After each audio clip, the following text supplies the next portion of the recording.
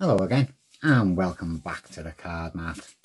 I had a nice little fun on this and it's based on a very simple principle and you probably all know the effect. This is just a, a more elaborate way of covering it up shall we say so it's not so much in the spectator's face so they can see what's going on. Yeah, packet can get shuffled, it is impromptu.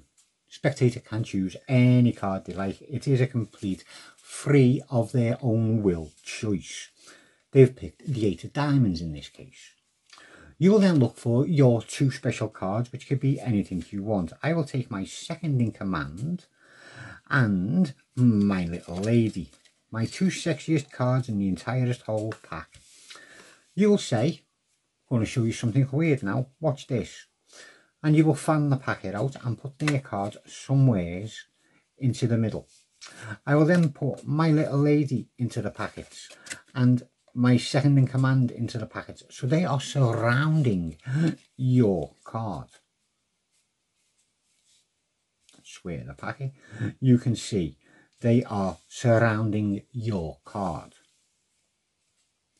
We will now put these into the box, just like so, but I will let you see your card and my little ladies disappearing into the box first. Now, hopefully with a little bit of magic and a little bit of luck, let all the cards fall into the box. And one card stays sticking out of the box and yes, you can see it is only one card sticking out of the box. Thank you very much. Yes, that one's just, I'll show you it that way. I'm not cheating you, that one's just got stuck with the little flap. That just went flat. But you see it is directly in the middle and I will do my damnedest to pull it out so you can see it is in the middle. And we will spread it to show it is in the middle. And there you go. Yeah. You probably already know exactly how to do it. Yes. But I will show you some little necessities that might make it work just a little bit better for you. Shuffled. You get the script. They've picked a card. You go through take out I should have got them out while I was there, shouldn't I? Any two cards you like. We'll go for the same two. There we go. Wallop, wallop.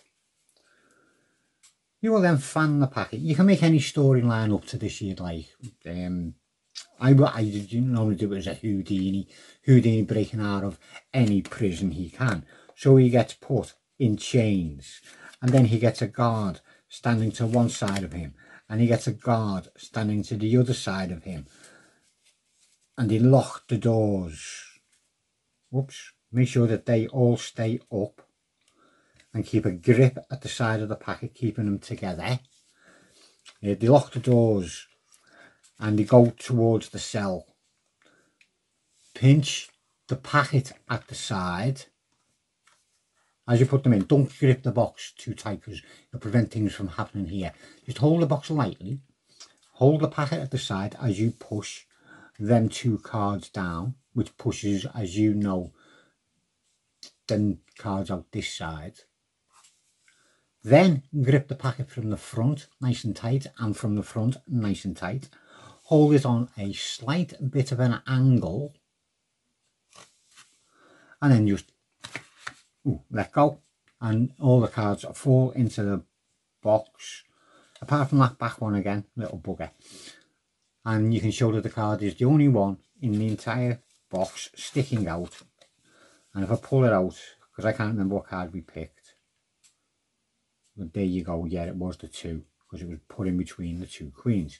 But you know what I mean? It's that simple effect where you just got the selection stuck in between two cards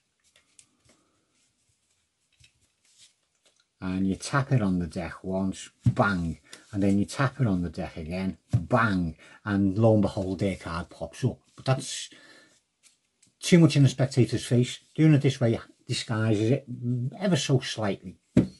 Well, anyway, I'm going to shut my face and get off. I hope you've enjoyed it. I hope you can make use of it. And I'll see you again soon.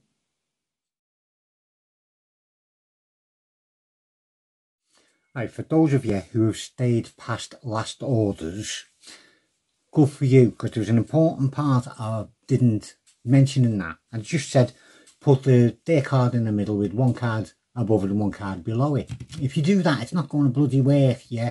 And half of you already know that. What I neglected to say to them that didn't know what was going on is when you put their card in, you put one of your cards, one card below it, and the other one, one card above it. If you see what I mean. So you get a mini faro in the middle. Their card, one of your guards one card above, one, one card below. And then it'll work. Otherwise, it won't work. I am very sorry that I didn't mention that in there. I got carried away with telling my little storyline as I was doing that part. So it's your fault for distracting me, asking me questions. I don't know. Anyway, this time I'm really shutting my face and getting off because I know now I'm really bored yet. I'll see you again soon if you can be bored again with me.